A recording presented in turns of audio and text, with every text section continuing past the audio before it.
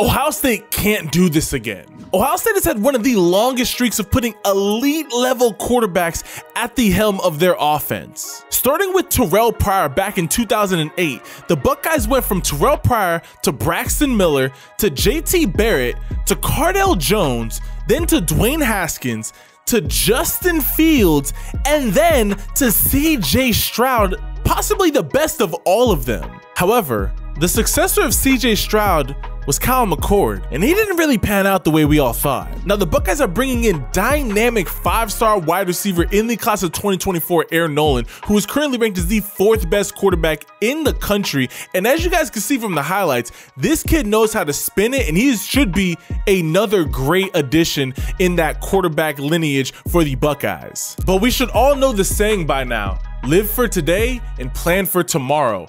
And Ohio State needs to start planning for tomorrow because one of the biggest reasons why they didn't make the college football playoffs this season was because of the quarterback play. Ohio State had one of the best defenses, not just in college football, but in Ohio State history. Like this defense was on another level and they weren't able to get anything done because when they really needed Kyle McCord to shine, he really just fell into the shadows. But it looks like the Buckeyes might have just found their quarterback for the very near future. Steve Wiltfong, who is the director of football recruiting for 24-7 Sports, put an official prediction out that the Ohio State Buckeyes would land the second best quarterback and the second best recruit in the class of 2026 in Nashville Christian High School's own Jared Curtis. Jared Curtis is coming off of a sophomore campaign where he threw for 2,522 yards, completing 56% of his passes, throwing for 25 touchdowns to only 9 interceptions. He also had 543 rushing yards and another 13 touchdowns. Now, the reason why I said that Ohio State can't mess this up again at the beginning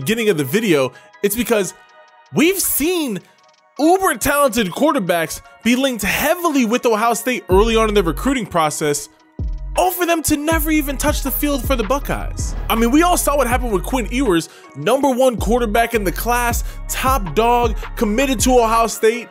He was there for pretty much an NIL deal and then immediately hit the transfer portal and he's now at Texas. And we just saw the Buckeyes miss out on landing the number one quarterback in the country in Dylan Raiola, who is now going to Nebraska. In my opinion, the immediate future is being handled by Air Noland. The future after that needs to be set up, and the Buckeyes need to land five-star quarterback Jared Curtis in the class of 2026 if they want to continue that dominance because we all should know Ohio State can only go as far as their quarterback play. But as we should all know when Steve Wiltfong puts an official prediction out, more than likely that player is going to end up going to whatever school he said. So five-star quarterback Jared Curtis looks like he's a lock to become a Buckeye. All my Buckeye fans, let's take a look and see. I know that 2026 seems like it's forever away. It's right around the corner. Here's he's gonna be the quarterback of the future. Let's go and take a look and see what Jared Curtis is gonna be looking like as a future Buckeye. Three, two, one. All right, so this is what Jared Curtis is looking like on the field. So he's just wrapping up his sophomore campaign, but the kid's already six foot three, 210 pounds. This is a big quarterback. And rushing for 500 yards, like this kid shows that he's mobile as well. Look at the arm talent. This is, that's just nasty. Little spin and then just, ah, perfectly only where his receiver can get it. Hey, my guy, he is talented out here. Okay, showing, showing off the wheels a little bit. Hey, if he if he's running like this as a sophomore, when he gets into his junior and senior year, when he gets, he should stay the same size. I wouldn't really want him to be putting on any more weight. 210 pounds is more than enough. Maybe get up to 215. But if he's able to be more mobile and just quicker on his feet, that's where he's going to become really, really scary. Look at the throws. Like this kid, he has a cannon for an arm. I'm excited to see how he develops and to see if he ends up becoming a Buckeye because uh, the Buckeyes need a quarterback like this, a guy that can just zip the ball all over the field, but then can also run it when he needs to. I'm telling you, these quarterbacks, they've gotten so much more elite. This is a sophomore right now, just commanding an offense with ease, standing in the pocket, and then just got a cannon. Like this kid, he just flicks the wrist and that ball is zooming out of his hand.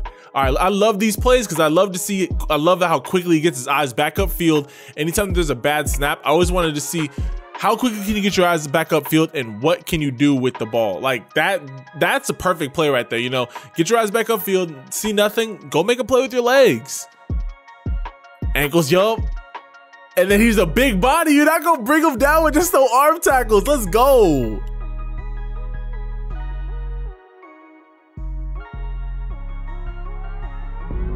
So that is just a quick look at what the potential future Buckeye Jared Curtis is looking like on the field. There's a reason why he's ranked as the second best recruit in the class of 2026.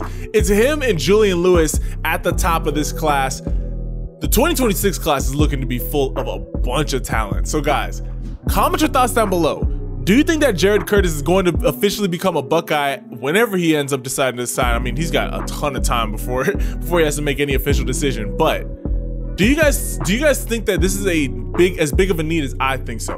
To me, college teams need to be at least two quarterbacks ahead in their recruiting cycle. They've already got Air Noland. They need another one. Jared Curtis could be that guy. I want to hear you guys' thoughts down below. Leave this video a like, comment your thoughts down below, and hit that subscribe button and turn on all your notifications so you do not miss when we drop any Buckeye news and Buckeye related content. I love and appreciate each and every single last one of y'all. Know that if you're going through anything, you can always call upon Jesus Christ. I know that it, I know that life can just get difficult, to be honest, but you know, you're not hearing this by accident.